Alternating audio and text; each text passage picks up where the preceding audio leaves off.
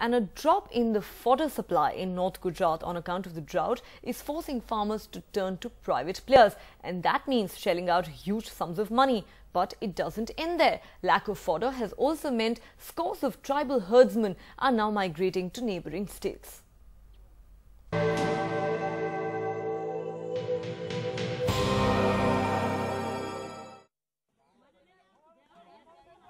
It's an early morning struggle for fodder at Ved village in North Gujarat. Varsanbhai Bharwad is a worried man. Stock of fodder for his cattle is over, and with almost no rain, there is no way he can get a fresh crop of fodder sown. Villagers in parched regions of the state have no option but to rely on private suppliers, even if it means paying five times more.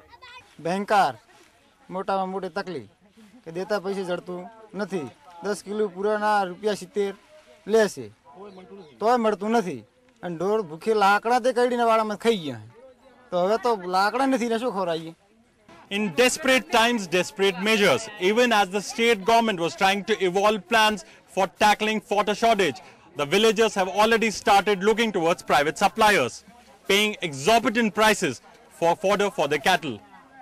The government's worry is that if the fodder shortage persists, the dairy industry could be affected. Gujarat has a livestock of 168 lakh. While demand for dry fodder is nearly 250 lakh tons, currently the state only has 139 lakh tons. The situation is equally worse when it comes to green fodder. And with the shortage getting acute, Maldharis or tribal herdsmen have started migrating, some moving hundreds of kilometers to central Gujarat or to neighboring Madhya Pradesh.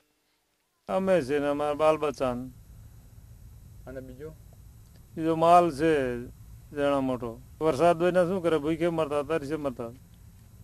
the government says it has taken up issue with the center on a priority basis and is even buying fodder from other states. But for villagers on the ground, the wait seems endless. In North Gujarat, with camera person Network Parmar, Rohit Bhan for NDTV. India's number one news app. Just got even better. Download NDTV's new app. Fully optimized for retina display. Full screen view. Faster response time. And Sudoku. NDTV's new iPad app. Download now.